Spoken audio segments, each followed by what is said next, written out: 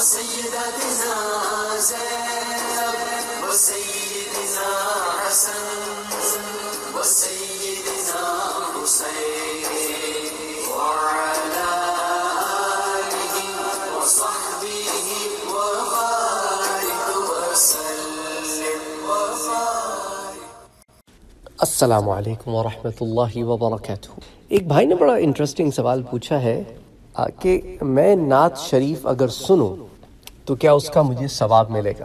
دیکھیں اس میں نعت شریف بذات خود حضور اکرم صلی اللہ علیہ وآلہ وسلم کی مدح بیان کرنا ہے۔ حضور صلی اللہ علیہ وآلہ وسلم کی شان بیان کرنا ہے۔ اور حضور صلی اللہ علیہ وآلہ وسلم کی شان بیان کرنا، یہ تو قرآن میں بھی ہے۔ جس میں اللہ عز و جل فرماتا ہے، وَرَفَعْنَا لَكَ ذِكْرَكَ۔ میرے پاک نبی صلی اللہ علیہ وآلہ وسلم، ہم نے آپ کی خاطر آپ کا ذکر خیر بلند کیا۔ اور جہاں آپ درود و سلام کی بات کرتے ہیں، تو وہاں بھی حضور صلی اللہ علیہ وآلہ وسلم کا ذکر خاص ہے۔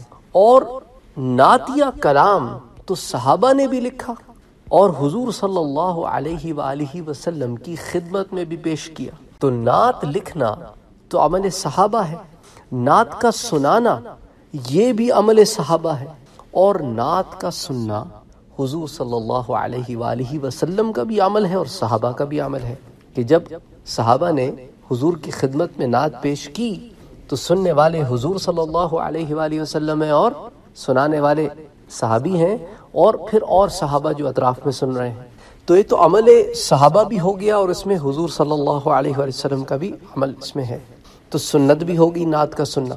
اچھا اب اس کے اندر ایک چیز کا خیال رکھنا بہت ضروری۔ نعت پڑھتے اور سنتے وقت ادب، اس کا بہت خیال رکھنا ضروری ہے۔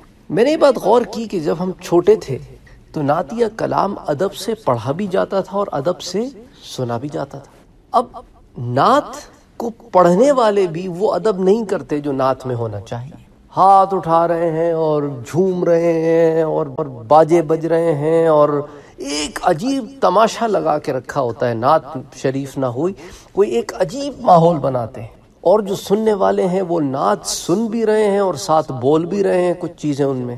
یعنی ایک ادب کا جو سما تھا نا ہمارے بچپن میں، وہ اب ختم ہوتا نظر آ رہا ہے۔ انہوں نے نعت کو بھی وہ کانسرٹ بنا دیا ہے معاذ اللہ کہ وہ کانسرٹ میں وہ گاتے ہیں نا، تو ساتھ میں یہ بھی ساتھ میں ہجوم شور مچاتا ہے۔ تو اب انہوں نے وہی حال، وہی کیفیتیں کر دی ہیں۔ ایک ایسے عجیب و غریب سے سٹینڈرڈ سیٹ کر دیے ہیں نعت میں بھی کہ اللہ کی پناہ۔ ہر قسم کے سازینوں پر عجیب انداز سے نعت پڑھنا۔ ایک زمانے میں وہ گانوں کی طرزوں پہ نعتیں پڑھ رہے ہیں۔ عجیب ایک ایکسپیریمنٹ کیا رکھا ہے انہوں نے دین میں۔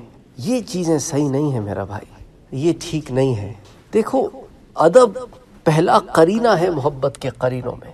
نعت پڑھتے وقت میں دیکھتا ہوں کہ، دیکھتا ہوں کہ یہ کچھ لوگ وہ چلتے ہوئے نعت پڑھ رہے ہیں۔ ایک نعت پڑھ رہا ہے اور دوسرا جو میزبان ہے وہ کہ واہ واہ واہ واہ واہ واہ جی سبحان اللہ۔ وہ اگلا مصرع اس کے ساتھ اس نے پڑھ دیا۔ یہ کیا ہے یہ؟ کم سے کم مجھے تو بہت عجیب سا لگتا ہے یہ کہ یہ کیا بنا دیا ہے ان لوگوں نے۔ اور یہ بتانے کی کوشش یہ کر رہے ہوتے ہیں کہ ہم اس کو بڑا انجوائے کر رہے ہیں۔ یہ تو انجوائے نہیں، یہ تو شو بازی ہے۔ شو بازی نہیں کرو۔ نعت جب پڑھی جائے تو اس کے الفاظ پر غور کرو، فکر کرو اور اپنے دل میں اس محبت کو بڑھاوا دو۔ اپنے حلق اور اپنے بدن سے اس کا اظہار کر کے ساری انرجی وہاں نہ لگا دو۔ ان الفاظ کو اپنے دل میں اتارو اور حضور کی محبت میں غرق ہو جاؤ۔ اور حضور کی محبت میں غرق، پھر یہ شوبدے بازیاں نہیں کرتا وہ۔ وہ ایسے شور شرابے اور شو بازیاں نہیں کرتا۔ بہرحال، اللہ تعالیٰ سب کو ہدایت دے۔ تو اس میں بڑا آپ نے اس چیز کا خیال رکھنا ہے۔ پڑھی جائے یا نعت سنی جائے۔ ادب ادب ادب بہت ضروری ہے۔ افسوس کہ ہم اس دور میں زندہ ہیں کہ ادب اٹھتا نظر آتا ہے۔ لوگوں کے کلام میں بھی ادب نہیں۔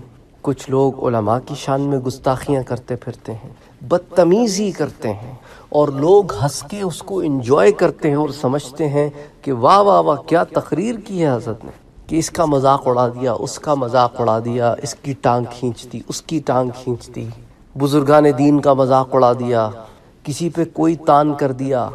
اپنی عقل کے حساب سے بزرگان دین پہ جملے فقرے کسنا یعنی اگر تمہاری عقل میں کوئی بات نہیں آتی تو تمہاری عقل کا قصور ہے۔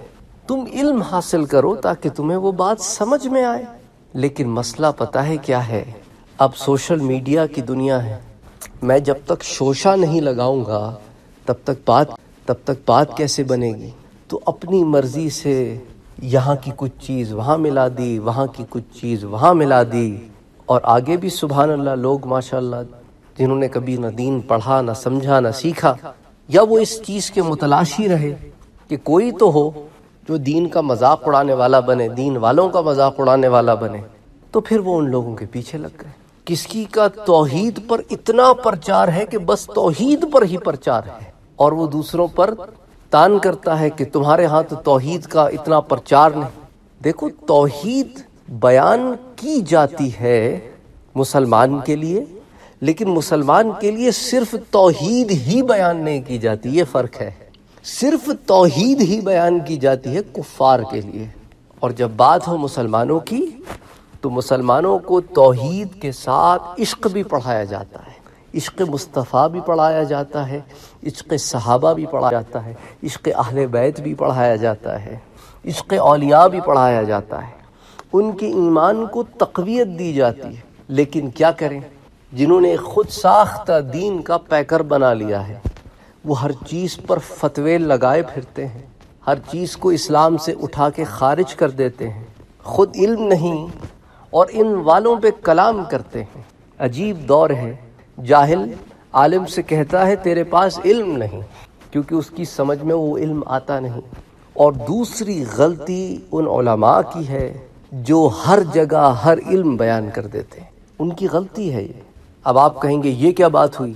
یہ ایسی ہی بات ہے میرا بھائی، کہ میں اگر پہلی جماعت کے بچے کو قبر کے عذاب سے ڈرانا شروع کر دوں، ابھی اس کا ذہن پختہ نہیں ہے۔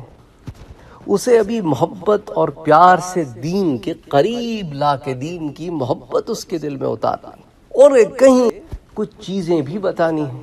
میں اگر اسے خوف زدہ کر دوں گا تو وہ محبت کیسے کرے گا؟ کیونکہ خوف زدہ دل محبت نہیں کرتا۔ پہلے محبت ڈالی جاتی ہے، پھر محبت چھوٹ جانے کا خوف خود پیدا ہو جاتا ہے۔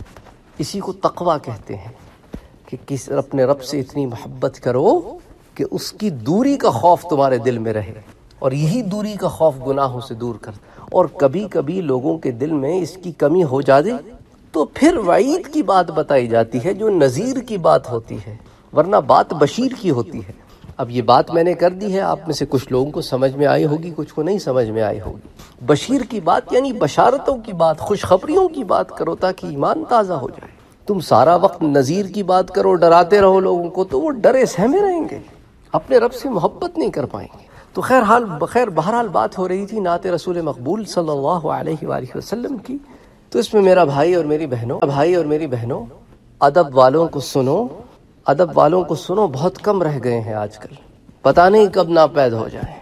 اور ادب کرو۔ ادب والوں کی محفل میں بیٹھو، ادب والوں کو سنو، تو پھر ادب آئے گا۔ بے ادبوں کو، گستاخوں کو، زبان کے تیز تراروں کو سنو گے تو پھر وہی ذہن میں چلے گا اور کیا ہے؟ اللہ تعالی ہم سب کو ہدایت دے۔ اللہم صلی وسلم وبارک علی سیدنا وحبیبنا وشفیعنا محمد صلی اللہ علیہ وسلم۔ اللہم صلی علی محمد وعلی آل محمد صلی اللہ علیہ وسلم۔